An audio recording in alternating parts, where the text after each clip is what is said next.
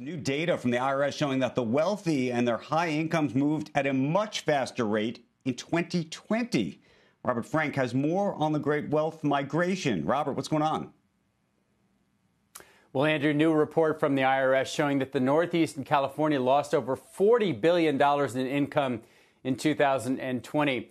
New York losing nearly $20 billion in income from out-migration that year, more than twice the losses of 2019. California also nearly doubling its losses to $18 billion.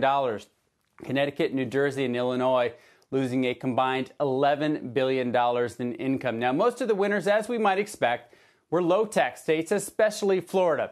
Florida adding a net $24 billion in personal income in 2020.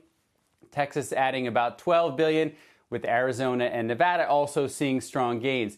But if you drill down, you look at specific state to state migration, taxes actually become slightly less important. Now, New Yorkers did go to Florida, that was their top pick, but their second most common destination for New Yorkers was New Jersey, which gained $5.3 billion from New Yorkers who moved there.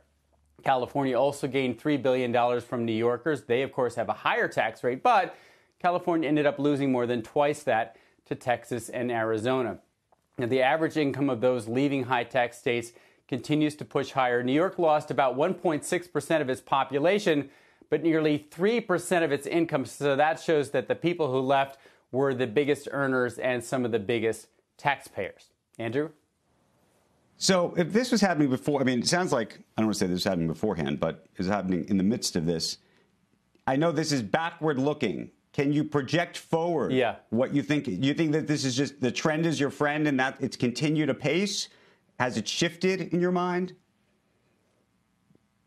I mean, the sad thing is it's impossible to know what happened in 2021. The states aren't providing updated data, and the tax collections don't reflect it. You know, right now, California has a $100 billion tax surplus from its payments in 2021. New York has about a 20 or $30 billion surplus. So it is not showing up in the tax rolls. Again, that's probably masked by the strong markets and strong income that we had last year.